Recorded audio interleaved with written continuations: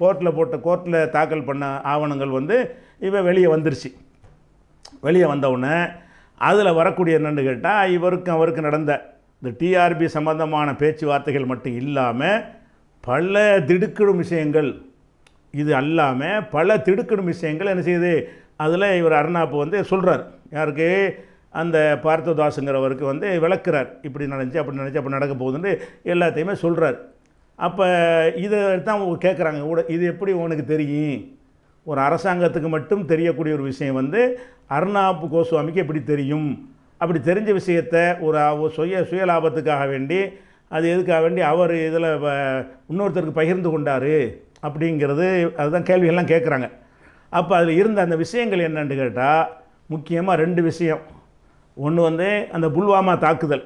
ஒன்று ரெண்டாவது வந்து அந்த பாலாக்கோடுண்டு பாகிஸ்தானில் போய் சர்ஜிக்கல் அட்டாக்கு நடத்துனாங்கல்ல துல்லிய தாக்குதல்ண்டு ஒரு நடத்துனாங்க இல்லையா இந்திய அரசாங்கம் சார்பாக அது ஒரு விஷயம். இந்த ரெண்டு சம்பவத்தை பற்றியும் அதில் வருது. வேறு விஷயங்கள் எல்லாத்தையும் சொல்கிறேன் என்னென்ன வருதுண்டு? முக்கியமானது. இது முக்கியமான விஷயம் என்னென்னு கேட்டால் இந்த புல்வாமா தாக்குதல் விஷயமாகவும் ஒன்று வருகிறது. அதோட என்ன வருதுன்னு கேட்டால் புல்வாமாவுக்கு பதிலடிங்கிற பேரில் பாகிஸ்தானுக்குள்ளே நம்ம ஒரு இராணுவத்தை அனுப்பி என்ன செஞ்சாங்க? தாக்குதல் நடத்தினாங்க. அதாவது பாகிஸ்தானில் இருக்கக்கூடிய இராணுவத்து மேலே தாக்குதல் இல்லை. பாகிஸ்தானில் இருக்கக்கூடிய தீவிரவாத முகாம்கள் இந்த லஷ்கர் தைப்பா அப்படியே முகாம்கள் இருக்கும்ல அப்படி ஒரு முகாமில் நாங்கள் தாக்குதல் நடத்தி எல்லாத்தையும் அழிச்சு விட்டோம்னு இங்கேருந்து சொன்னாங்க. அவன் இல்லைன்னு மறுத்துக்கிட்டு தான் அது ஒரு விஷயம். இவங்க அழிச்சோன்னு சொல்கிறாங்க இந்த ரெண்டு சம்பவத்தை பற்றிய அந்த உரையாடலில் வரக்கூடிய விஷயந்தான் இது முன்னாடியே இவருக்கு தெரிஞ்சிருக்குங்கிற. அதாவது என்ன விஷயம்? இதெல்லாம் நடந்துச்சு. நடக்கிற விஷயம் நடக்கிறதுக்கு முன்னாடி இவருக்கு தெரியுமா இருந்தால் இவர் பிஎம் இவர்? பிரதமர் இவர் அவர் இன்னும் சொல்~ புல்வாமா தாக்குதல் கூட முன்னாடி தெரியும் என்று சொன்னால் தீவிரவாதி தாக்குதல் நடத்த போகிறாங்கிற விஷயம் முன்னாடி தெரிய முடியுமா? அது தெரிய முடியாது. இந்த விஷயங்களை பற்றி கூட இவர் அங்கே பே அந்த கேஸு அதுக்கு உள்ளது நல்லா விளைக்கணும் இந்த சிவசேனை அரசாங்கத்திலேருந்து அவர் கேஸு போட்டது வந்து இந்த டிஆர்பி சம்மந்தமாக பேசிக்கிட்டாங்கல்ல அதுக்கு தான் அந்த ஆதாரத்தை மட்டும் தான் எடுத்து போடுவாங்க. இது வந்து அந்த மொத்த ஆடுற ஆதாரத்தை காட்டும்போது இதுவும் அதில் வருது. இதுக்கு வந்து வேறு வேறு டிபார்ட்மெண்ட்டு தனியாக வழக்கு போடணும். அது மத்திய அரசாங்கம் தான் போடணும். போட மாட்டாங்க.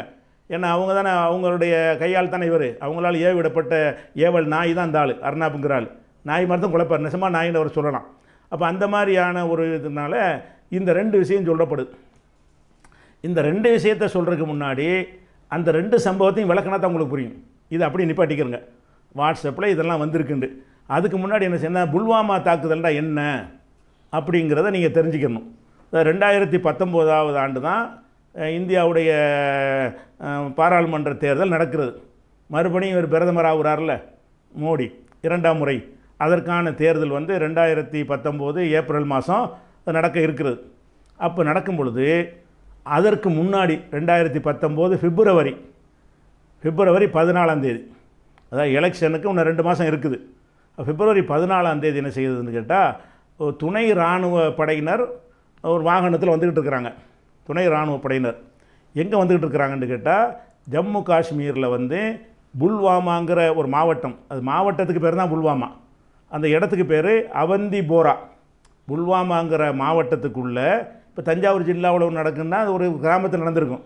அதை வந்து மக்களுக்கு தெரியாதனால தஞ்சாவூர்லன்னு சொல்லி சொல்லப்படுவாங்க அந்த மாதிரி புல்வாமாங்கிறது ஒரு டிஸ்ட்ரிக். அந்த டிஸ்ட்ரிக்டில் வந்து அவந்தி போராங்கிற ஒரு பகுதியில் ஸ்ரீநகருக்கும் ஜம்முக்கும் உள்ள தேசிய நெடுஞ்சாலை நேஷனல் ஹைவே.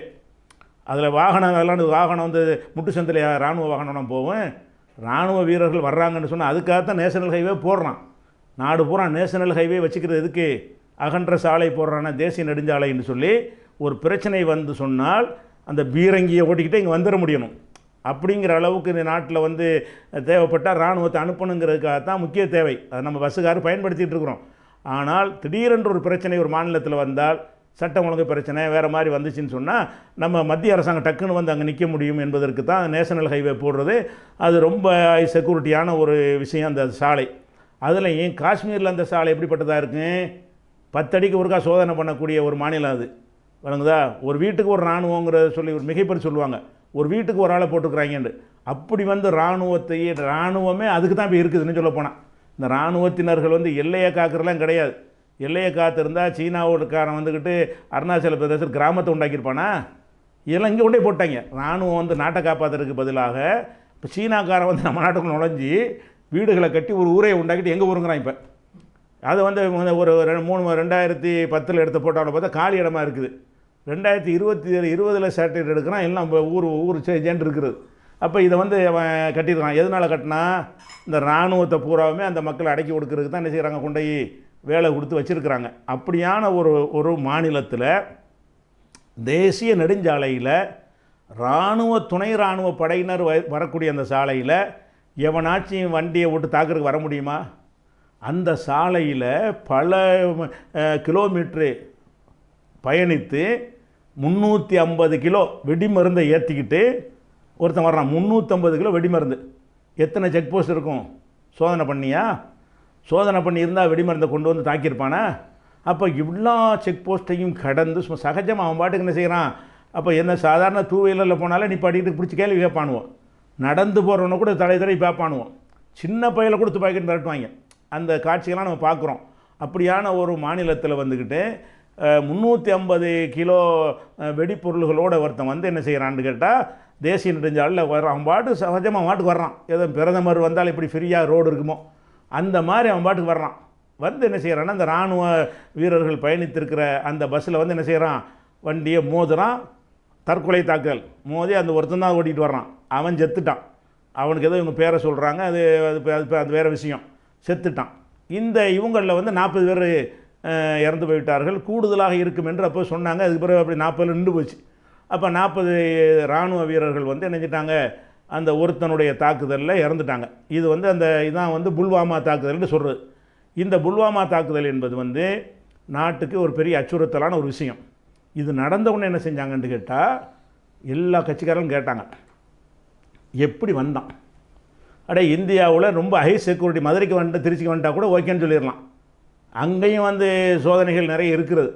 காஷ்மீரில் வரையலுமா காஷ்மீர் மாநிலத்தில் வந்துக்கிட்டு முந்நூற்றம்பது கிலோ வெடிமருந்து வச்சுட்டு வர்றதா இருந்தால் இது வந்து இராணுவத்திலேயோ அரசு அதிகாரியுடைய ஒத்துழைப்பு இல்லாமல் நம்மளை போ அப்படி தான் வர முடியும். வரக்கூடியவன் யார் என்பதை வந்து தெரிந்த அனுமதித்து இருக்காவிட்டால் அங்கே வந்திருக்க முடியவே முடியவே முடியாது. ஆனால் வந்திருக்கிறான். வந்து நினைஞ்சிருக்கிறான் நாற்பது பேர் காலி பண்ணியிருக்கிறான். அப்போ நாற்பது பேர் காலி பண்ணுவதற்கான வாசலை திறந்து விட்டவன் யார்? அப்போ பொறுப்பில் இருந்தவன் யார்? அதை கண்காணித்தவன் யார்? ஏன் அதை திறந்து விட்டான்? என்று விசாரிக்க வேண்டும் இப்போ எல்லா எதிர்க்கட்சிகளும் கோரிக்கை வச்சாங்க. விசாரணை கமிஷன் போட்டாங்க. இன்றைக்கி ஏறக்குறைய ரெண்டாயிரத்தி எத்தனை வருஷம் ஆச்சு? பத்தொம்போதுன்னா மூணு வருஷம் ஆக போகுது. அப்போ மூணு வருஷம் ம- பத்தொம்போது இருபது இருபத்தொன்று ஆமாம் ஏறக்குறைய மூணு வருஷம் ஆகுது. ரெண்டு வருஷம் ஆகுதா? ரெண்டு வருஷம் ஆகுது. இரண்டு வருஷம் ஆன பிறகு கூட அதில் என்ன நடந்துச்சு இது வரைக்கும் சொல்லப்படலை. ஒரு எவ்வளோ பெரிய தேச முக்கியத்துவம் வாய்ந்த ஒரு நிகழ்ச்சி கொடுமை நடந்திருக்கிறது. இராணுவத்தினரே காலி பண்ணியிருக்கிறான். இராணுவத்தை காலி பண்ணால் என்ன செய்யணும்? அதுக்கு சம்மந்தப்பட்ட அதிகாரிகள் எவனாவது இருந்தான்னு சொன்னால் அவனை பிடிச்சி கைது பண்ணி அம்பலப்படுத்தி தூக்குல போட்டு இந்த பார். பத்து நாளில் விசாரித்து தேசத்தை காட்டி கொடுக்குற எவனாக இருந்தாலும் சரி விடமாட்டோம்னு நடவடிக்கை எடுக்க வேண்டிய பயங்கரமான ஒரு நிகழ்வு. ஆனால் அதுக்கு எந்த ஒரு துரும்பையும் கூட எடுத்து போடவில்லை. இது யார்? எப்படி? அந்த கேள்விக்கு இன்றைக்கு வரைக்கும் பதில் இருக்கான்னு கேளுங்க.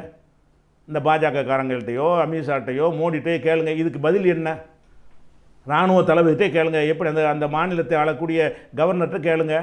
இது எப்படி நடந்தது சொல்லு. அப்போ அந்த வர்ற அந்த வேலை யாரெல்லாம் டியூட்டியில் இருந்தா? யாரெல்லாம் அது ஒரு பொறுப்பாளர்? ஒரு பெரிய ஆஃபீஸர் பொறுப்பாளராக இருந்து மட்டும் இருந்தால்தான் ஆ ஆ இவங்க விட்டு நம்மளுக்கு தான் அப்படின்னு சொன்னால் மட்டும்தான் அது வந்து வந்திருக்க முடியுமே தவிர அப்படி இல்லாட்டி வந்திருக்க முடியாது என்கிற விஷயமாக இருந்தால் அரசாங்கம் எவ்வளவு சீரியஸாக அதை எடுக்கணும். எடுக்கவே இல்லை. அப்போ என்ன செய்கிறாங்கன்னா அந்த தேர்தலில் வந்து இது அப்போவே பேசுனாங்க தேர்தலில் ஆதாயம் அடைகிறதா இருந்தால் இப்படி ஒரு நம்ம ஆட்களை வந்து கொஞ்சம் பேர் சாவடிக்கணும். சாவடித்த பிறகு அது பதிலடின்னு போய் பாகிஸ்தானில் போய் அடிக்கணும். அப்போ ஹீரோ பார்த்தீர்களா பாகிஸ்தானுக்குள்ளே நுழைந்து சர்ஜிக்கல் அட்டாக் பண்ணிவிட்டார் என்று ஒரு ஆதாயம் அடைவதற்காக வேண்டி நம்ம நாட்டுடைய மக்களே பழி கொடுத்து சும்மா போய் பாகிஸ்தான் அடித்தா மக்கள் ஒத்துக்கிற மாட்டாங்க. எங்கள் நாட்டில் இராணுவ வீரர்களை நாற்பது பேரை காலி பண்ணி அவங்க காலி பண்ணதுக்கு ஆதாரமே இல்லை. எப்படி வச்சு இங்கே இங்கே தான் துணையாக நின்றுக்கிறாங்கிறது தான் இப்போ உள்ள சந்தேகம். இது வரைக்கும் உள்ளது. அப்போ அதுக்கு தேர்தலில் வெற்றி பெறுவோம். ஏப்ரலில் தேர்தல் வரப்போகுது. பிப்ரவரியில் இதை செஞ்சோம் என்று சொன்னால் அது சரியாக வரும் என்று சொல்லி என்ன செய்கிறாங்க?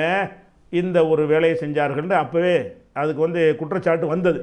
வந்த பிறகு என்ன செஞ்சிருக்கணும்னா இதில் என்னென்னார் உடந்தையாக இருந்தார்கள். இது ஒருத்தன் செய்ய முடியாது. ஒரே ஒரு சிங்கிள் மனுஷன் முந்நூற்றம்பது கிலோ வெடிமருந்தை ஏற்றிக்கிட்டு வந்து இராணுவத்தை கொண்டுறதுங்கிறது நடக்க நடக்க நடக்கவே முடியாது. சாத்தியமே இல்லை. அப்படி நடந்திருந்தால் அரசின் ஒத்துழைப்பு இல்லாமல் அரசின் ஆசி இல்லாமல் அரசின் உதவி இல்லாமல் இது நடந்து இருக்கவே முடியாது என்ற கோபம் வந்து இதை விசாரித்து தீவிரமாக ஒரு வாரத்துக்குள்ள அறிக்கையை தாக்கல் பண்ண வேண்டும் என்று சொல்லி நடவடிக்கை எடுக்க வேண்டிய விஷயம் அப்படியே அதை அமைக்கிட்டாங்க. இதுதான் புல்வாமாங்கிற ஒரு விஷயம். அது போக என்னன்னு கேட்டால் இது நடந்து போச்சா? ஒரு நாள் என்ன செய்கிறாங்கன்னு கேட்டால் ஒரு போலீஸ் அதிகாரி அவர் என்ன செய்கிறாருன்னு கேட்டால் அவர் தான் அந்த புல்வாமா அந்த ஏரியாவுக்கெல்லாம் பொறுப்பாளர். இந்த வரக்கூடிய வண்டியெல்லாம் மடக்கக்கூடியவர் வந்து ஒரு உயர்ந்த எஸ்பி லெவலில் உள்ள ஒரு அதிகாரி. அவர் என்ன செய்கிறாருன்னா அவர் வண்டியில் வந்துக்கிட்டு இருக்கிறாரு. உள்ளக்க ரெண்டு மூணு ஆட்கள் இருக்கிறாங்க. ஆட்களை ஏற்றிக்கிட்டு வர்றார். இடையில மறித்து மறித்து கேட்கும்போது அவங்களாம் சிஐடி பிரிவினர். அவங்களாம் காவல்துறை இராணுவத்தை சேர்ந்தவங்கன்னு சொல்லி சொல்லி எல்லாத்தையும் கடந்து வந்துடுறாரு. அப்போ டிஐஜியோ ஐஜின்னு நினைக்கிறேன். டிஐஜி லெவலில் உள்ள டிஜிபி லெவலில் ஒருத்தர் வந்து மடக்கிறார். மடக்கி இவங்க யார்? யாருன்னு கேட்டால் அவர் என்ன செய்கிறாரு வந்து அது வந்து நம்ம தெரிஞ்ச ஆளுக்கு தான். அவங்க நம்ம இராணுவத்தில் உள்ளவங்க தான் சொல்கிறாரு அப்புறம் இறக்கி உள்ளே செக் பண்ணி பார்த்தா அவங்க வந்து தேடப்பட்டு வர்ற ஹிஸ்புல் முஜாஹிதீன் தளபதி சையத் நவீது அவரது கூட்டாளி ஆசிப் ரத்தோர் மற்றும் கடத்தல்காரர் இம்ரான் மூணு பேர் உள்ளே இருக்கிறாங்க. அந்த மூணு பேரும் என்ன சொல்லி கடத்தி உலக இவ்வளோ தூரம் வந்திருக்கார் அவர்? என்று கேட்டால் அவங்க நம்ம இராணுவத்தை சேர்ந்த ஆட்க அப்படின்னு சொல்லி கொண்டு இவ்வளோவையும் தாண்டி வந்துட்டார். வேறு ஏதோ ஒரு இடத்துல இவங்களை பயன்படுத்தி இவங்க லஷ்கர் தைபாவெலாம் இவங்க அதனால் விளங்கிக்கிறங்க லஷ்கர் தைபா ஜெய்ஷே முகமதெல்லாம் என்னென்னு கேட்டால் ரூபாயை கொடுத்து நாங்கள் சொல்லும்போது நீ தாக்கல் பண்ணிக்கிறனு பொறுப்பேற்றுக்கொள்ளணும் நாங்கள் அதை வச்சு அறுவடை செஞ்சுக்கிடுவோம் அப்படிங்கிற ஒரு அடிப்படையில் தான் இந்த அதிகாரி என்ன செய்கிறாங்கன்னா கையும் மையமாக பிடிச்சி விட்டார். பிடிக்காதுன்னு சிக்னல் வர கொடுக்க மறந்துட்டாங்க. முதல்ல கொடுத்துருந்தாங்கன்னா என்ன செய்வார் அவரை வெறும் கூட விட்டுருப்பார். அவருக்கு டிஜிபிக்கு சிக்னல் கொடுக்கலன்னா அவர் பிடிச்ச நினைச்சாரு அரெஸ்ட் ஐம்பது பேர் அரெஸ்ட் பண்ணு பண்ணி விசாரித்தால் விசாரித்தா பத்திரிக்கைக்கு சொல்லணுமே இது அவளே இவங்க சொல்கிறாங்க இவர் தான் அந்த குற்றவாளிகளை கூட்டிகிட்டு வந்து என்ன செய்கிறாரு ஏதோ ஒரு சதி திட்டத்துக்காக வேண்டி அவரே அழைச்சிட்டு வந்திருக்கா. அதனால தான் யாராலும் மடக்கப்படவில்லை. யாராலும் மடக்கப்படாமல் பல பல இடங்களை கடந்து சோதனை சாவடியில் கடந்து இவர் வர்றாருன்னு சொன்னால் அவ்வளோ பெரிய விஷயம். இவர் மாட்டின பிறகு என்ன ஆகுதுன்னு கேட்டால் அப்போ இதுக்கு ஏதோ ஒரு ஏதோ ஒரு கலவரம் நடத்துவதற்காக வேண்டி வேறு அடுத்த ஒரு காரியத்தை செய்ய போகிறாங்க அது வந்து இப்போ முறிவிக்கப்பட்டு முறியடிக்கப்பட்டு விட்டது என்கிற ஒரு சந்தேகம் வந்துக்கிறது. அப்போ தான் என்ன செய்யணும்னு கேட்டால் இந்த ஆள் என்ன செய்கிறாருன்னு கேட்டால் அந்த அப்சல் குருவுக்கு தண்டனை கொடுத்தாங்கல்ல. பொய்யான குற்றச்சாட்டு சுமத்தி தண்டனை கொடுத்தாங்க இல்லையா? அப்போ தண்டனை கொடுக்கும்போது எந்த ஒரு ஆதாரமும் இல்லை. அப்போ நீதிமன்றம் என்ன சொல்லிச்சுன்னா தேசத்தினுடைய கூட்டு மனசாட்சியின்படி தண்டனை வழங்க- சட்டத்தின்படி வழங்க இயலாது. ஆனால் வழங்க வேண்டும் என்று மக்கள் விரும்புகிறார்கள். அதனால் வழங்குகிறேன் நீதிபதி உலகத்தில் இல்லாத ஒரு நீதி என்ன செஞ்சார்? தீர்ப்பளித்தார் அப்சல் குரு. அப்சல் குரு வந்து அந்த தூக்கு போடுறதுக்கு முன்னாடி அவர் ஒரு ஒரு பதிவை என்னஞ்சிருந்தார் வெளியிட்டிருந்தார். என்ன வெளியிட்டார்னு கேட்டால் இந்த மேப்படியில் இந்த அதிகாரி இருக்கார் இல்லையா? என்ன சிங் அவர் பேர்? அதாவது தேவே தேவேந்தர் சிங். தேவேந்தர் சிங்குங்கிற அந்த அதிகாரியுடைய பேர். இந்த ஆள் தான் எனக்கு என்னிடத்தில் சில விஷயங்களை பேசி இந்த தீவிரவாதிக்கு நீங்கள் அடைக்கலம் கொடுங்கன்னு என்று கேட்டுக்கொண்டார். என்று அவர் அப்சல் குரு ஏற்கனவே சொல்லியிருக்கார். அப்போ இவரை வந்து பயன்படுத்தி கொண்டு தீவிரவாதிகளோடலாம் இவங்களுக்கு தொடர்பு இருக்கிறது. அதை பயன்படுத்தி கொண்டு என்ன செய்கிறாங்கன்னு கேட்டால் ஏதாவது ஒரு வேலையை செய்ய விடுறது. லஷ்கர் தைபா அதெல்லாம் வந்து யாருன்னு கேட்டால் அவங்க தீவிரவாத காசுக்கு செய்கிற கூலிப்படை. அந்த கூலிப்படைக்கு இஸ்லாமிய கலரை பூசி இவங்க சொல்லும்போது செய்வாங்க அனுமதிக்கும்போது செய்வாங்க பொறுப்பேற்றுக்கனா பொறுப்பேற்றுக்குருவாங்க என்பதுதான் இதில் விளங்குகிறது. இவ்வளவும் நடந்திருக்கிறது. நடந்தவுடனே அப்போ தான் என்ன செய்கிறாங்கன்னா பிபிசி பிபிசி போன்ற தொலைக்காட்சிகளில் இதை விளக்குனாங்க. என்ன போட்டிருந்தாங்க? இந்த புல்வாமாவுக்கு வந்துச்சுல முந்நூற்றம்பது கிலோ அப்போ இவர் தான் பொறுப்பாளர். இவர் மீது திரும்பி இருக்கிறது நாங்கள் சரி திரும்பி இருந்துச்சுல என்ன ஆச்சு அந்த கேஸு ஏப்பா அவர் பிடிச்ச இல்லைப்பா? பிடிச்சா நீங்கள் தான் ஆளுனா என்ன செஞ்சுருக்கணும்? யார் யாரெல்லாம் உடந்து யாருந்தா எல்லாத்தையும் சொல்லுன்னு கேட்டு அவனை தான் நீங்கள் என்ன பண்ணீங்க? அவன் மூலமாக எத்தனை பேர் உடந்தின்னு கண்டுபிடிச்சிங்க? அப்போ இது வந்து அரசின் சார்பாக அந்த அன்னைக்கு ஒரு நாள் பரபரப்பு நியூஸ் வந்ததுக்கு அப்புறம் இந்த விஷயத்தினுடைய உண்மை நிலவரம் என்ன? சொல்லப்படலை. இன்றைக்கு வரைக்கும் அந்த புல்வாமாவுடைய மேட்ரு என்ன செய்யலை? சொல்லப்படவே இல்லை. புல்வாமாங்கிற விஷயத்தில் யார் காரணம்?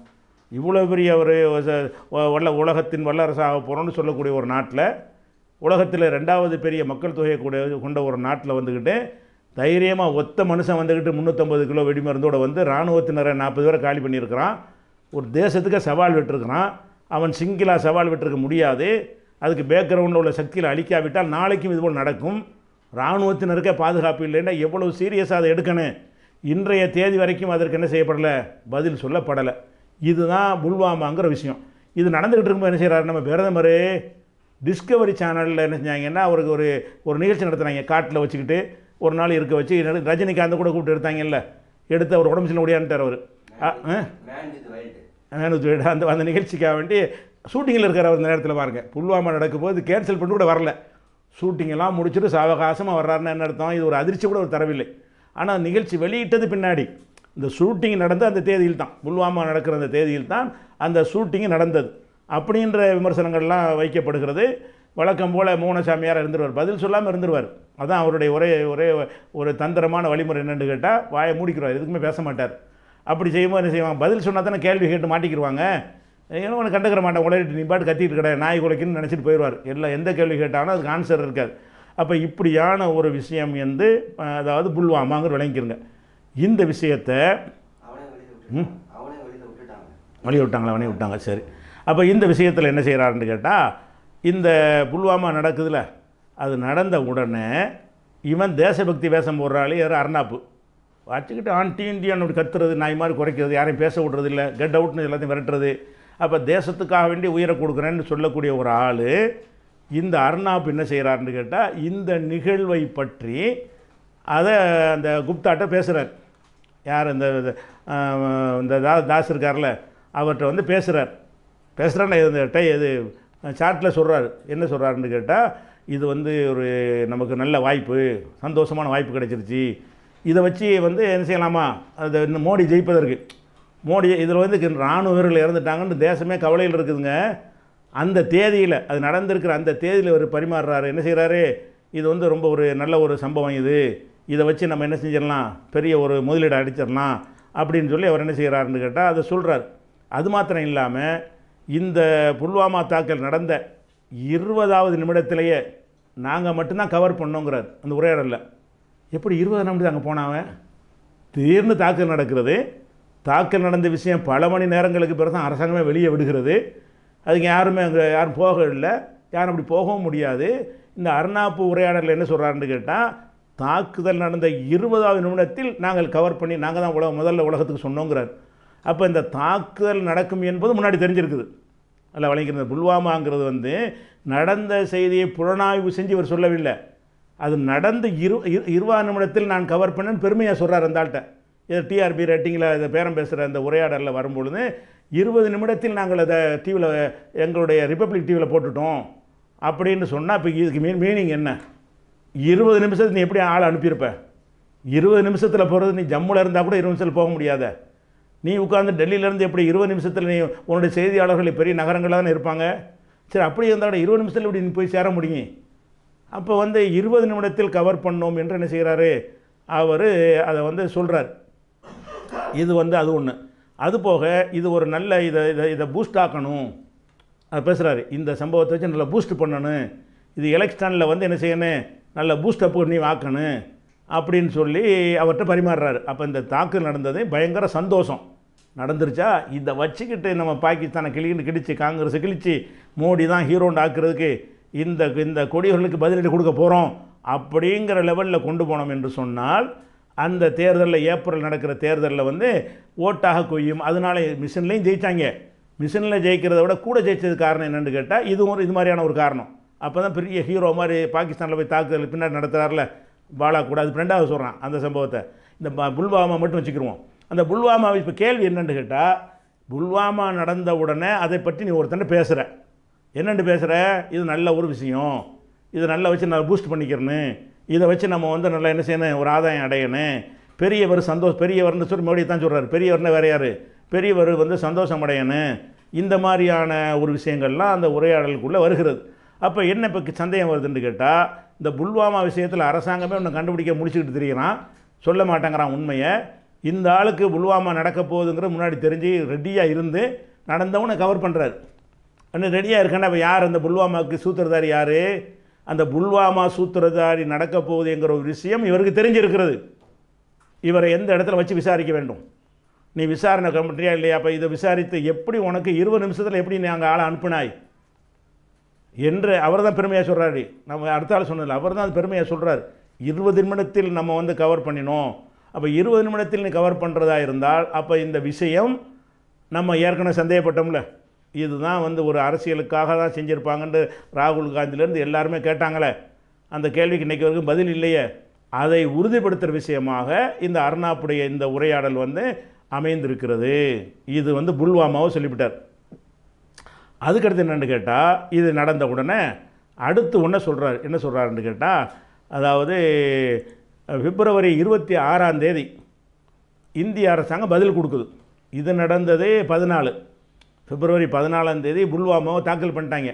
அப்போ தாக்குதல் பண்ணிட்டவுடனே இதுக்கு நாங்கள் பாகிஸ்தானை விடமாட்டோம் சரியான பதிலடி கொடுப்போம் அப்படிங்கிற மாதிரி ஒரு முடிவை எடுத்து பிப்ரவரி இருபத்தி ஆறாம் தேதி என்ன செய்கிறாங்கன்னா இந்திய விமானங்கள் பாகிஸ்தானுடைய எல்லையில் போய் அங்கே அமைந்திருக்கிற இராணுவ தளங்கள் இல்லை. இந்த தீவிரவாதி இருக்கிறார்கள் என்று சொல்லக்கூடிய ஆனால் தீவிரவாதிலாம் கிடையாது சும்மா கோழி பண்ணையில் வந்து போட்டாங்கன்னு அப்போ அவங்க படம் போட்டுக்காங்க பாகிஸ்தான்காரங்க காட்டினாங்க.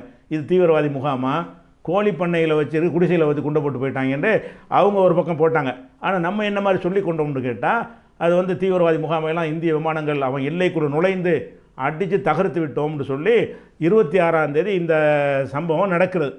ஆனால் இருபத்தி மூணாம் தேதி இவர் அவருக்கு இவர் பேசுகிறார் நடக்கிற இருபத்தி ஆறு பிப்ரவரி இருபத்தி ஆறாம் தேதிக்கு தான் அந்த அது பாலாக்கோடுங்கிற இடம் பாகிஸ்தானில் உள்ள இடம். அதன் மீது இந்திய அரசாங்கம் தாக்குதல் நடத்துது. பாலாக்கோடில் நடக்கிறது இருபத்தி ஆறாம் தேதி. மூணு நாளைக்கு முன்னாடி இவர் என்ன செய்கிறாருன்னு கேட்டால் ஒரு இதுக்கு வந்து நிகழ்ச்சி ஒன்று நடக்க போகிறது. நாட்டு மக்கள் மகிழ்ச்சி அடைய இந்த இந்த பாலக்கோடுன்னு சொல்லலை அவர். எப்படி சொல்கிறாருன்னு கேட்டால் நாட்டு மக்கள் மகிழ்ச்சி அடையக்கூடிய ஒரு விஷயம் நடக்க போகிறது. இதை வந்து என்ன செய்கிறது அவங்களுக்கு சந்தோஷமான விஷயம் அப்படின்னு சொல்லி ஒரு பெரிய தாக்குதல் நடத்த இருக்கிறார்கள் அப்படின்னு இவரை ப பதிகிறார். அப்போ அவர் கேட்குறாரு யார்? அந்த எதிர்பார்ட்டி அந்த டிஆர்பி கேட்குறாரு என்ன கேட்குறாருன்னு கேட்டால் அது என்ன தாவூத் இப்ராஹிமா? அந்த தாக்குதல்னால் தாவூத் இப்ராஹிம் அந்த- லஷ்கர லஷ்கர் தைபா அந்த மாதிரி தான் தாக்குதல் பண்ணியிருக்கிறாங்க. ஒருவேளை தாவூத் இப்ராஹிமை போய் எதுவும் செய்ய போகிறாங்களா அப்படின்னு கேட்குறாரு நோ இல்லை தாவூத் இப்ராஹிம் இல்லை. ஒரு தேசம்தான் டார்கெட்டு பாகிஸ்தான் பாகிஸ்தான் உள்ளுக்கு அடிக்க போகிறோம்னு அர்த்தம் அதுக்கு. அப்போ அந்த மாதிரி உள்ள நடக்க போகிறது அப்படின்னு சொல்லி இவர் சொல்கிறார் அவ அவர்கிட்ட பரிமாறுறாரு. யார்கிட்ட? இந்த செய்தியை வந்து அந்த டிஆர்பி பேரம் பேசுகிறவர்கிட்ட போய் என்ன செய்கிறாரு அருணாப்பு வந்து மெசேஜை அனுப்புகிறார் அனுப்பின உடனே அப்போ என்ன ஆகுதுன்னா சொன்ன பிறகு இருபத்தி ஆறாந்தேதி நடந்துருச்சு. நடந்த உடனே அவர் திருப்பி கேட்குறாரு இதைத்தான் நீங்கள் சொன்னீங்களோ? எது இந்த நடந்து முடிஞ்ச பிறகு நீங்கள் இருபத்தி மூணாந்தேதி சொன்னீங்களே ஒன்று நடக்க போகுதுன்னு சொல்லி. இந்த நடந்துருச்சே இப்போ சர்ஜிக்கல் அட்டாக்கு நடந்துருச்சே இதைத்தான் நீங்கள் சொல்கிறீங்களான்னு கேட்குறாரு ஆமாம் இதுவும் தான் இதுக்கு மேலேயும் இருக்கிறது அப்படிங்கிறாரு. அப்போ இதைத்தான் சொன்னேன்னு ஒரு ஒத்துக்கிறார். இது எப்படி சொன்னேன் சொன்ன? இருபத்தி ஆறாந்தேதி நடக்கிற ஒரு விஷயத்தை இருபத்தி மூணாந்தேதி ஒருவன் இந்த நாட்டில் சொல்ல முடியுது என்றால் அதுவும் இராணுவத்துறை நடவடிக்கை வந்து உலகத்துக்கு சொல்லலாமா? இராணுவத்தில் என்ன செய்வாங்கன்னா தாக்குதல் நடத்துகிறதா இருந்தால் சொல்லாமல் அமைதி மாதிரி பேசி டக்குன்னு போய் தாக்கிட்டு வந்துடுவாங்க இதுதான் இராணுவத்துக்கே உள்ள முக்கியமான ஒரு ஒரு தந்திரம் இதுதான். எந்த நாட்டு இராணுவமாக இருந்தாலும் இராணுவ விஷயங்கள் வந்து வெளியே கசியாது. அந்த கடைசி இறுதி முடிவு எடுக்கக்கூடிய உயர் பீடத்தில் உள்ளவங்களுக்கு மட்டும்தான் அவன் தெரியும். ரெடியாக இருக்கணும். நம்ம நம்ம வந்து எங்கே போக போகிறோம் பர்மாவில் கொண்டு போட போகிறோம்னு சொல்லி வைக்கணும் அவன்கிட்ட. அவன் பர்மான்னு நினச்சிக்கிட்டே இருப்பான். திடீர்னு கிட்ட திருப்புங்கணும் இல்லை அவன் மூலமாக கசிஞ்சிரும்ல அதனால் எப்படி சீக்கிரட்டாக வச்சுருப்பாங்கன்னு கேட்டால் அது பிரதமர் அந்த உள்துறை இராணுவத்துறை மந்திரி அதுவும் யார் பொறுப்பு அவங்க இருப்பாங்க. தளபதிக்கு என்ன செய்வாங்க? கடைசி நேரத்தில் சொல்லுவாங்க. அவர் வந்து வேறு மாதிரி சொல்லுவார். யாருக்கும் தெரியாது. அப்போ ஒரு தேசத்தின் மீது தான் தாக்கல் நடத்த போகிற ஒரு விஷயம் வந்து அதைத்தான் சொன்னேன்னு வேறு ஒத்துக்கிறார். ஒன்று நடக்க போகுது மகிழ்ச்சியான விஷயம் நடக்க போகிறது அப்படிங்கிற ஒரு விஷயத்தை இவர் வந்து அந்த உரையாடலில் அவர் சொல்கிறார் அப்போ இருபத்தி ஆறு நடக்க போகிற விஷயம் இராணுவம் எடுக்கிற ஒரு நடவடிக்கை வந்து இராணுவத்துக்கு வெளியே உள்ள ஒரு பத்திரிக்கைக்காரனுக்கு சொல்ல முடியுதுன்னா அப்படிப்பட்ட ஒருத்தன் பாகிஸ்தானை சொல்ல மாட்டானா? அப்படியான ஒருத்தனும் அங்கே இருக்கிறான் என்று சொன்னார் ஒரு பத்திரிகைக்காரனுக்கு இராணுவ நடவடிக்கையை வந்து ஸ்மெல் பண்ணி எடுக்க முடியும் என்று சொன்னால் தேசத்தின் பாதுகாப்பு எப்படி இருக்கிறது? நாளைக்கு எந்த விஷயம் என்றாலும் நம்ம எடுக்கிற முடியும் அவனுக்கு முதல் போய் சேர்ந்துருமே. அப்படிங்கிற ஒரு விஷயத்தையும் பார்க்குறோம். மேலும் நடக்க போகுதுன்னு சொன்னார் பாருங்கள் அதே மாதிரி என்ன செஞ்சாங்கன்னா விமானத்தை மறுபடியும் மறுபடியும் விமான தாக்குதலுக்கு அனுப்புகிறாங்க அவள் சுட்டு ஆளை பிடிச்சிட்டான். அந்த ஒரு ஆளை பிடிச்சான்ல அரவிந்தன் ஒரு ஆளை. அரவிந்தன் ஒரு ஆளை சுட்டு பிடிச்சி கீழே இறக்கி நெஞ்சாங்க கொஞ்ச நாள் வச்சுருந்து விடுதலை செஞ்சிட்டாங்க பாகிஸ்தானில். மோர்னு சொன்ன மேலும் நடக்கும்டாரில் அருணாப்பு அதான் மேலும். மேலும் நடந்திருக்கு. இது மாத்திரம் இல்லை இன்னும் இருக்குங்கிறார். அப்போ இன்னும் இருக்குங்கிற விரும்பி தெரியும்? அதையும் சொல்கிறாரு இன்னும் இருக்குன்னு சொல்கிறாரு இன்னும் இருக்குன்னு சொன்ன மாதிரி நடக்கிறது. அதில் அவன் வந்து சுட்டுப்பிட்டான் அதனால் நடக்கலை. நீங்கள் தாக்குதல் பண்ணும்போது அவன் சுட்டு பிடிச்சி ஆளை நெஞ்சிட்டான். அது இப்போ விமானம் கீழே விழுந்தோன்னே இவர் காயத்தோட ஆளை கைப்பற்றி சிகிச்சையெல்லாம் பண்ணி கடைசியில் இந்தியாவுக்கு நல்லிணக்கத்தை கருதி நாங்கள் வந்து அவரை இந்தியாவில் ஒப்படைக்கிறோம்னு சொல்லி அரவிந்தன் ஒரு தமிழ்நாட்டை சேர்ந்த ஆள் தான் நினைக்கிறேன் அவர். அவர் இராணுவ அதிகாரி ஃப்ளை பைலட் அவர். அவர் விட்டாங்க. இப்போ என்னென்னு கேட்டால் இது அதில் வருது. எது வருது? பாலாக்கோடு தாக்குதலை பற்றியும் முன்கூட்டியே அவர் சொல்லுகிறார். பூடகமாக சொல்கிறார் தெளிவாக பாலாக்கோடுங்கிற இடத்துல நடக்க போகிறோன்னு சொல்லலை. பாகிஸ்தான் மீது பெரிய அடி கொடுக்க போகிறோம் அப்படிங்கிற நடக்க இருக்கிறது மகிழ்ச்சியான ஒரு செய்தி நடக்க இருக்கிறது அப்படிங்கிறாரு. நடந்து முடிஞ்சவொடனே இதுவான்னு கேட்குமா இதுவும் தான் இன்னும் இருக்குது என்று ஒத்துக்கொள்ளவும் செய்கிறார். அப்போ இது எப்படிப்பட்ட ஒரு விஷயம்? இது என்ன செய்யணும் இந்திய அரசாங்கம்? சீரியஸான விஷயம். இது ஊகமாக சொன்னேன்லாம் பதில் சொல்லிட்டு இருக்கார் அவர். இதெல்லாம் ஒரு ஊகமாக பத்திரிக்கையாரன் சொல்ல மாட்டானா? நம்மளை தாக்குனா திருப்பி நம்ம தாக்க மாட்டோமா? அப்படிங்கிற பேச்சு இல்லை இது. இவருடைய இவருடைய டோட்டல் விஷயம் எடுத்து வச்சு நம்ம அலசி ஆராயணும் புல்வாமாவுடைய சம்பவத்தை பூரா நம்ம பார்க்க வேண்டும். இதெல்லாம் வச்சு பார்க்கக்கூடிய நேரத்தில் வந்து இது வந்து இந்த இந்த விஷயங்கள்லாம் அவர் சொல்லியிருக்கிறார் இன்னும் உள்ளதுங்கிறார். அது போக என்ன செய்கிறாருன்னு கேட்டால் வேறு வேறு விஷயங்கள்லாம் அது வருது. அதாவது ஆறு வருஷம் தான் நீங்கள் பார்த்துக்கிறங்களேன். மோடியை கிண்டல் பண்ணுறலாம் சொல்கிறாரு இவன் பாட்டு குஜராத்தில் உளறான் நம்ம கூட சமாளிக்க வேண்டியிருக்குலாம் பேசுகிறார் யார் இந்த உரையாடலில் வருகிறது. இவன் பாட்டு குஜராத்தில் இருந்து காரன் நம்ம வந்துக்கிட்டு சமாளிக்க வேண்டியிருக்குங்கிறதெல்லாம் வருதுங்கிறாங்க மோடியை. அதெல்லாம் வந்து நாரிக்கிட்டு கிடக்குன்னு வைங்களேன். ஆறு வருஷத்தில் என்ன வேணாலும் பேசியிருப்பாங்க. அந்த விஷயங்கள் நமக்கு தேவையானது மட்டும் எடுத்து போய் கேட்குறாங்க அதனுடைய ஆங்கிலத்தினுடைய அந்த மூளை எனக்கு கிடைச்சின்னா நான் நிறைய கண்டுபிடிப்பேன். கிடைக்கல. இதெல்லாம் வந்து அதை தெரிந்தவர்கள் ஊடகத்தில் சொன்னாங்க இல்லையா? அதுலேருந்து நான் சொல்கிறது தான் இந்த என்னென்ன இருக்குங்கிற விஷயத்தை நான் பார்த்து கண்டுபிடிக்கல. இது எல்லாமே ஊடகத்தில் உள்ளவர்கள் என்ன செய்கிறாங்க இந்த ஆங்கிலம் அறிந்தவர்கள் அந்த டெக்ஸ்ட்டை பார்த்தவர்கள் இப்படியெல்லாம் இந்த விஷயங்கள்லாம் இருக்குது என்று சொன்னார்கள். அதுலேருந்து எடுக்கிறோம். ஒரிஜினல் ஸ்கிரிப்டை நமக்கு அது நமக்கு கிடைக்க கிடைக்கும் என்று சொன்னால் ஆயிரம் பக்கத்தையும் உட்காந்து தேடி நமக்கு ஆங்கிலம் தெரியாது தெரிஞ்சவரை வைத்து நம்ம தேடணும் என்று சொன்னால் இதில் வேறு என்னென்னலாம் இருக்குதுன்னு இன்னும் கண்டுபிடிக்கலாம். மேலோட்டமாக இதை கண்டுபிடிச்சி சொல்கிறாங்க அப்படி வந்து அது மாதிரி வருது. அடிக்கிறது உள்ளுக்குள்ள என்ன செய்கிறாரு ஏஎஸ் பார்த்துக்குருவாரு. ஏஎஸ்னா அமித் ஷா. அமித் ஷாவுக்கு தான் ஏஎஸ்மாங்க ஏஎஸ் பார்த்துக்குருவாரு. அவர்கிட்ட சொல்லிடுறேன். ஏஎஸ் தான் எல்லாத்துக்கும் பொறுப்பாக இருப்பார். இப்படி என்ன வாசங்கள்லாம் வருது. அதே மாதிரி வந்து காஷ்மீரில் வந்து முந்நூற்றி எழுபதாவது சட்டம் இருக்குல்ல அது தனி அந்தஸ்து உள்ளது. அதை ரத்து பண்ணாங்க. அதை ரத்து பண்ணுறது பிஜேபியுடைய ஒரு கொள்கை தேர்தல் பிரச்சாரத்தில் சொல்லிட்டு தான் இருந்தாங்க. ஆனால் அந்த சட்டம் எப்போ வரப்போகுது எப்போ கொண்டு யாருக்கும் தெரியாது. இவர் அந்த சட்டம் வருவதற்கு முன்னாடியே தாக்கல் செய்ய போகிறாங்கங்கிறார் தாக்கல் செய்ய போகிறாங்க அமித்ஷாக்கு மட்டும் தான் தெரியும். மோடிக்கு தெரியும். அமைச்சரவை சாகலுக்கு தெரியாது. அதனால் யாரும் பதில் சொல்ல முடியல அதுக்கு. அந்த மாதிரியான ஒரு ரகசியமாக வச்சுருந்த ஒரு விஷயம். இவரால் சொல்லப்போ அந்த உரையாடல் அதெல்லாம் போட்டு உடைக்கிறார். அப்படி வ- வரப்போகுது. முந்நூற்றி அறுபது முந்நூற்றி சட்டத்தை நீக்க போகிறோம் காஷ்மீருடைய அந்தஸ்தை பறிக்க போகிறோன்றதுலாம் இவரே பிரதமர் மாதிரி உள்ள பரப்புறார். அப்படின்னா இதில் நிறைய வந்து தேசத்தை ஒரு அச்சுறுத்தலாக இருக்கக்கூடிய தேசம் எங்கே போகுமோ? என்ன வேணாலும் செய்வாங்களே. இப்படிப்பட்டவங்க இருந்தால் தேசத்தை என்ன எங்கே யார்கிட்டையும் காட்டி கொடுத்துட்டு போயிடுவாங்களே என்கிற ஒரு அச்சத்தை ஏற்படுத்தக்கூடிய விஷயமாக இது இருக்குது இதுதான் அந்த புல்வாமாங்கிறது. பாலாக்கோடு என்பதும் அது பற்றிய உரையாடலும். இன்னும் வேறு நிறைய விஷயங்கள்லாம் சொல்கிறாங்க அதுவும் வந்து தேவையற்ற விஷயங்கள். ஆனால் வந்து நிறைய இருக்கு. தேடி பார்த்தா நிறைய கிடை வண்டி வண்டியாக கிடைக்கும். அப்போ இதுதான் அதில் ஒரு விஷயம். இப்போ எது இப்போ சொல்ல வேண்டிய விஷயம் என்னன்னு கேட்டால் இது வந்து ரொம்ப ஒரு டேஞ்சரான ஒரு காரியத்தை செஞ்சுட்டு மத்திய அரசாங்கம் மௌனம் காக்குது. எப்படிப்பட்ட எப்படா நீ சொன்ன தூக்கால ஆளை. அரெஸ்ட் பண்ணு விசாரணை பண்ணு தேசத்தின் பக்தி போசுறீங்க தேசபக்தின்னு சொல்லி அவ பேனா வாங்கி கொடுத்தோம் பென்சில் வாங்கி கொடுத்தவனையெல்லாம் பிடிச்சி கைது பண்ணுறீங்க தீவிரவாதின்னு சொல்லக்கூடியவனுடைய வீடியோவை ஏதாவது ஷேர் பண்ணிட்டா போதும் லைக் பண்ணிட்டா போதும். அவனை பிடிச்சி வந்து மொத்த மொத்தன்னு மொத்தி என்ன செய்கிறீங்க அவனை வந்து என்னையை பிடிச்சி வச்சு அவனை கேஸ்லான்னு சேர்க்குறீங்க. அற்பத்தில் அற்பமான ஒருத்தனை பார்த்து சலான் சொல்லியிருப்போம். நீ சலான் சொன்னியா? வா உனையும் சேர்த்தாச்சுங்கிறீங்க அப்போ எது எதுக்கெல்லாம் தேச பாதுகாப்புன்னு சொல்லி வளைச்சி வளைச்சி நீங்கள் ஒரு அநியாயம் பண்ணுறீங்க இது எவ்வளோ பெரிய ஒரு விஷயம். தேசத்தின் பாதுகாப்பு சம்மந்த விஷயத்தில் சமரசம் பண்ணால் நாட்டு மக்கள் அத்தனைக்கு அழிவாக போயிருமே. இப்போ நாட்டுக்கு உள்ளதை அவன் அவனுக்கு காட்டி கொடுத்தா அவன் சுதாரிச்சுக்கிருவானே. அவனுக்கு இங்கே உள்ளதை காட்டி கொடுத்தா நம்மளை அழிச்சிட்டு போயிடுவானே. அவள் தேசத்துக்கு எதிரிகள்கிட்ட ஒரு காட்டி கொடுக்குற அளவுக்கும் இது போய்விடும் என்ற அச்சத்தின் காரணமாக நம்ம என்ன செய்கிறோம்? இதை வந்து நம்ம பதிவு செய்கிறோம். ஆனால் மராட்டி அரசாங்கம் நினைஞ்சிட்டாங்கன்னுட்டு இவங்க விசாரிக்கிற மாதிரி இல்லை. இதுக்கு வந்து உள்துறை அமைச்சர்கிட்ட நாங்கள் வந்து கிளாரிஃபிகேஷன் கேட்போம். அமித்ஷாட்ட கேட்க போகிறோங்கிறான் மராட்டி அரசாங்கம் வந்து இப்படி இருந்திருக்கு. இதுக்கு நீங்கள் விளக்கம் சொல்லுங்கள் இது எப்படி இவருக்கு தெரிந்தது என்று விசாரிங்க என்று சொல்லி அதை சிவசேனா வந்து நினைஞ்சிருக்கிறாங்க மராட்டிய உள்துறை அமைச்சர்கிட்ட வந்து உள்துறை உள் மராட்டிய அரசு வந்து மத்திய உள்துறை அமைச்சர்கிட்ட வந்து நாங்கள் இதுக்கு வந்து கிளாரிஃபிகேஷன் கேட்போம் அப்படின்ற மாதிரி சொல்லியிருக்கிறாங்க. இதுதான் அருணாப்புடைய விஷயம். அதனால் வந்து இது ரொம்ப டேஞ்சராக நாடு போய்கொண்டிருக்கிறது ஏற்கனவே இராணுவ வீரர்கள் இறந்ததில் வந்த சந்தேகங்கள்லாம் உறுதியாகுது. இராணுவ வீரர்கள் இறந்தாங்க இல்லையா? அது வந்து இறந்துருக்கு சான்ஸே கிடையாது. யுத்தத்தில் போய் இறந்தால் அது பரவாயில்ல வீரம் வரணும்னு போயிடலாம். கோழைத்தனமாக வந்து தாக்கியிருக்கிறாங்க அது வாசலில் திறந்து போட்டிருக்கிறீங்கன்னா அப்படி இராணுவருடைய உயிர்களை யார் வந்து பகடைக்கை ஆக்குனது? இப்படிப்பட்ட ஒரு விஷயத்தை இன்றைக்கு வரைக்கும் தேசம் பதில் சொல்லலையே. என்கிற ஒரு விஷயமாக இருக்கிறது என்பதை என்ன செய்யணும்?